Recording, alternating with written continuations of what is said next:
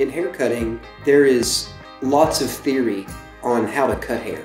And you can get really good at making hair perfectly even and straight to technical perfection.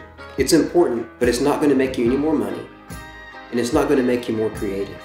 What's going to increase your value is being good, really good, at recognizing what's the right look for this person. Technique is something you can use, but it's not something you can rely on. Good looking hair isn't always perfect hair. If you cut a bob on me, it's the wrong haircut, even if it was to technical perfection. It's more important to understand the look you're creating. Scissors are like an instrument. So having good scissors allows you to execute your vision with more efficiency and in less time. You've got to think with your eyes.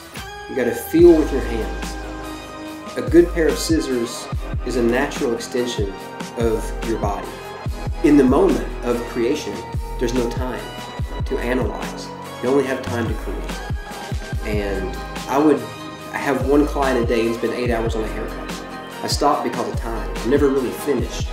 The last thing I want to think about is, are my scissors sharp?